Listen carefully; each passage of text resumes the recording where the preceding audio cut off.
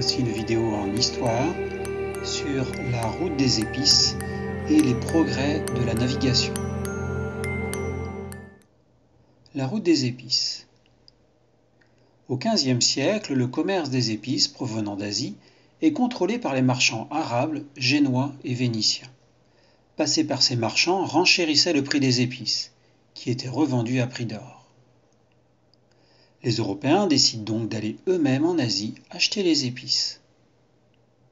Ils cherchent une route vers l'ouest ou en contournant l'Afrique.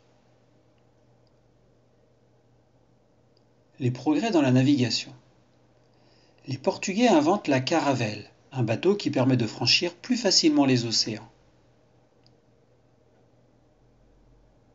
Pour se repérer, les capitaines utilisent l'astrolabe, instrument servant à déterminer la latitude, et la boussole, appareil qui permet de s'orienter par rapport au nord.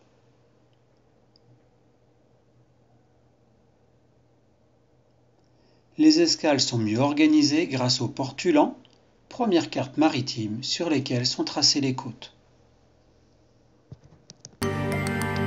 Maintenant, c'est à toi de jouer.